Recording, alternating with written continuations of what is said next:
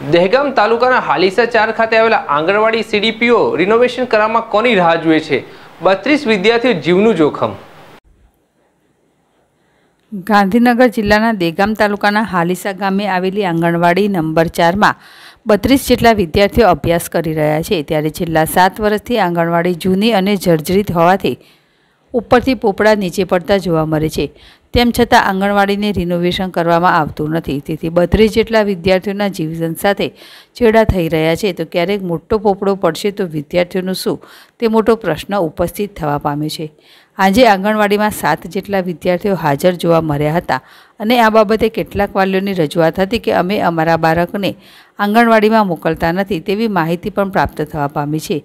તો તાલુકાના CDPO renovation કરાવવા માટે કોની રાહ જોવે છે?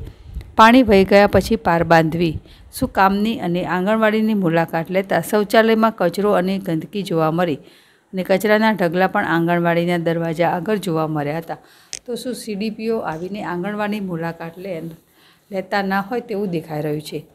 સરકાર વિદ્યાર્થીઓના ભાવિ માટે લાખોની રૂપિયાના ગ્રાન્ટનો ખર્ચે છે. ત્યારે આવા અધિકારીઓની બેદરકારીથી ક્યારેક વિદ્યાર્થીઓ માટે જીવનું જોખમ દેખાઈ રહ્યું છે.